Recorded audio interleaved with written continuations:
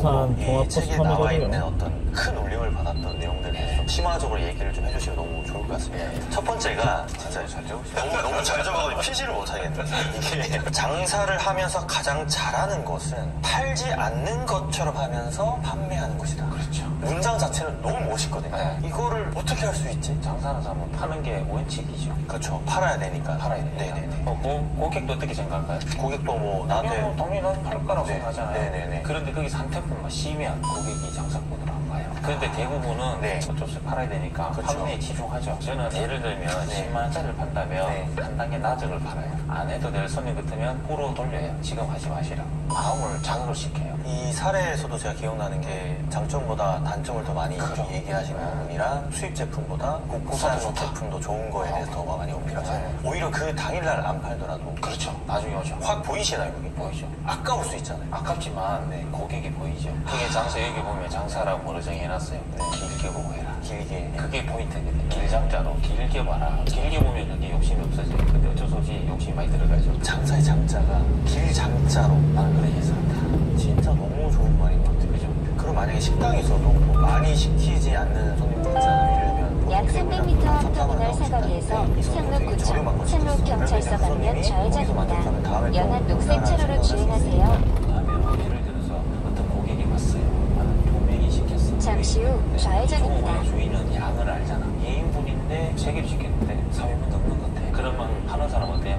좋죠. 좋죠. 매출 올라가니까. 네. 근데 고수는 한두 번씩 치예요. 아, 이거 많다. 드셔보시고 나중에 시키세요. 아, 근데 돈에 이 판매에 있는 사람들은 속으로 너무 좋아. 맞아요. 그 순간에 매출이 올라가요. 올라가니까. 그걸 참아야 된다. 아니, 제가 그래서 항상 그런 말씀들을 많이 드리거든요. 우리나라에 보면은 소중대로 파는 음식들이 많은데 그렇죠. 보통 소짜리가 2인분으로 우리가 보통 해석을 하잖아요. 그래서 3명이나 4명이 와서 소를 시키면 주인분들이 인사상태로 안 좋아지는 데 오히려 3명이나 4명 와도 아, 저희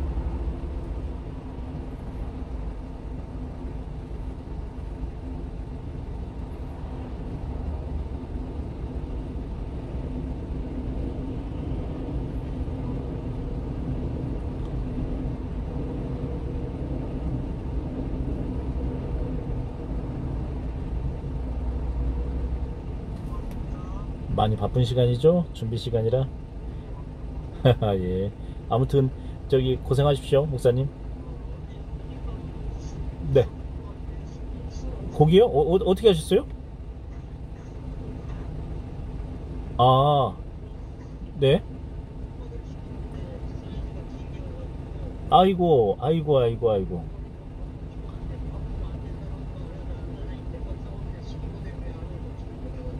예, 예. 아이고, 그, 하하, 그, 참, 아헤, 그렇구나. 아, 아무튼, 뭐, 좀, 좀 장사가 조금 잘 돼야 하는데 요즘에 도심지가 아주 초토화 됐어요. 예.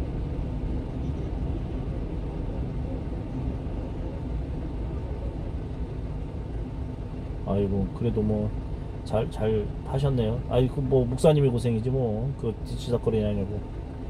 아이고. 아무튼, 고생하십시오. 오늘도 뭐, 3시에 넘어가세요? 예, 목사님, 저기 항상, 저기, 예, 예, 건강 유의하십시오. 예, 예. 목사님 고생이죠. 잠시 후 우회전입니다.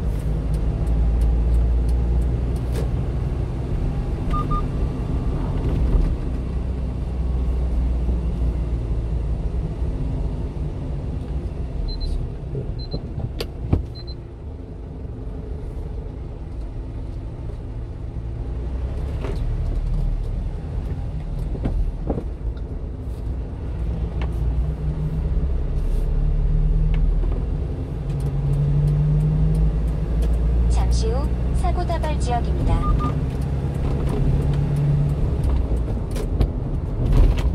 쓰게 되니 천만 원, 천만 원씩 이렇게 했습니다.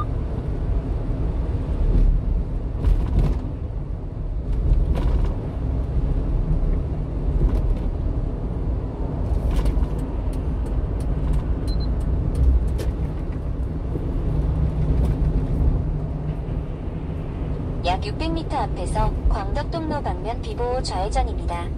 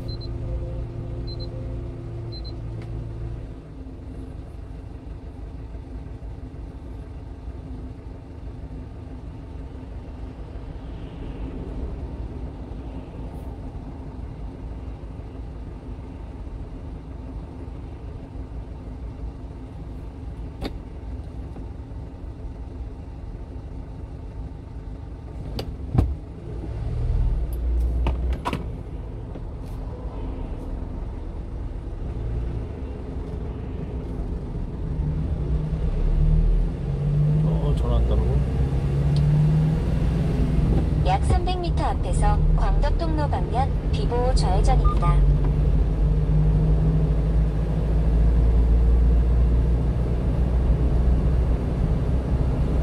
잠시 후 비보호 좌회전입니다.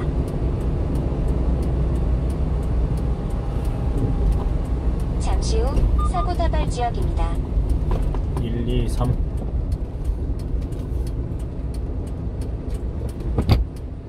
약 150m 앞 어린이 보호구역입니다. 시속 30km로 서행 운전하세요.